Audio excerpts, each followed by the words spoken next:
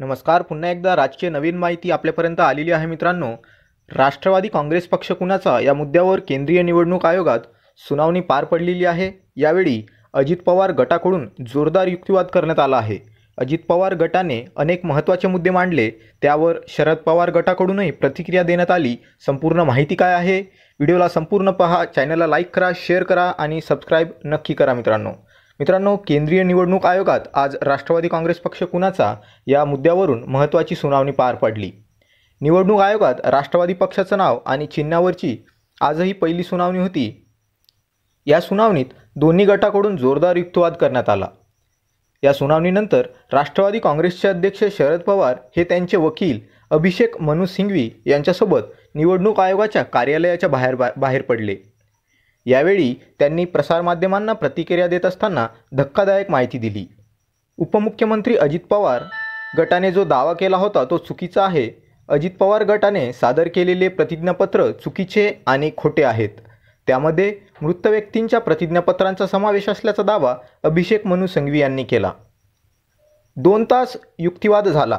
निवडणूक आयोगासमोर आम्ही स्पष्ट सांगितलं की तुम्ही आमचं ऐकून न घेता पक्षात फूट पडल्याचं निश्चित केलं आहे आधी आमचं म्हणणं ऐकून घेऊन ठरवा आम्ही आधीपासून प्राथमिक विरोध केला आहे निवडणूक आयोगाने हा विरोध प्राथमिक मानू शकत नाही असं म्हटलं आहे पण याचिकाकर्त्यांची भूमिका मांडल्यानंतर तुमचं सर्व म्हणणं ऐकलं जाईल असं आश्वासन निवडणूक आयोगाने दिलं आहे अशी प्रतिक्रिया अभिषेक मनु सिंघवी यांनी दिली.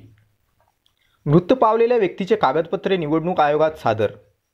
आम्ही अजून युक्तिवाद केलेला नाही कुणीही चुकीच्या कागदपत्रांच्या आधारे पक्षावर दावा करू शकत नाही. मृत पावलेल्या व्यक्तीचे कागदपत्रे आहेत. काही जण वेगळ्या पक्षाचे आहेत. ते पक्षाचे आहेत असं दाखवलं आहे. हे काल्पनिकपणे पक्षाला तोडण्याचा प्रयत्न केला गेला आहे पक्षाच्या घटनेपासून याचिकाकर्ते लांब पडत आहेत असे अभिषेक मनु सिंघवी यांनी सांगितले. सोमवारी अजित पवार गटाचं युक्तिवाद करणार. याचिकाकर्त्यांनी फक्त लोकप्रतिनिधींचं बहुमत पहा असं म्हटलंय. पण सुप्रीम कोर्टाने ते मानलेलं नाही. त्यांनी दावा केला आहे की आमच्या लोकप्रतिनिधींना मिळालेल्या मतांचा विचार करा पण आज पक्ष जो आहे ज्याने पक्ष बनवला राष्ट्रवादीचा चेहरा माझ्यासोबत उभा आहे इतर लोक चुकीची माहिती देत आहेत ज्याने पक्ष बनवला त्याच्याकडे दुर्लक्ष केलं जाऊ शकत नाही असं मत अभिषेक मनु सिंघवी यांनी मांडलं आहे तसेच पुढची सुनावणी ही येत्या सोमवारी होणार आहे त्या दिवशी देखील अजित पवार गटाला भूमिका मांडण्याची वेळ देण्यात आली आहे.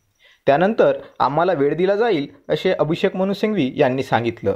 तर मित्रांनो याची जी पुढची सुनावणी आहे ती सोमवारी होणार आहे आणि ती जी काही सुनावणी होईल त्या संदर्भातही माहिती आपल्याला ह्याच चॅनलवर मिळणार आहे. त्यासाठी चॅनलला लाईक करा शेअर करा आणि सबस्क्राईब नक्की करा. धन्यवाद.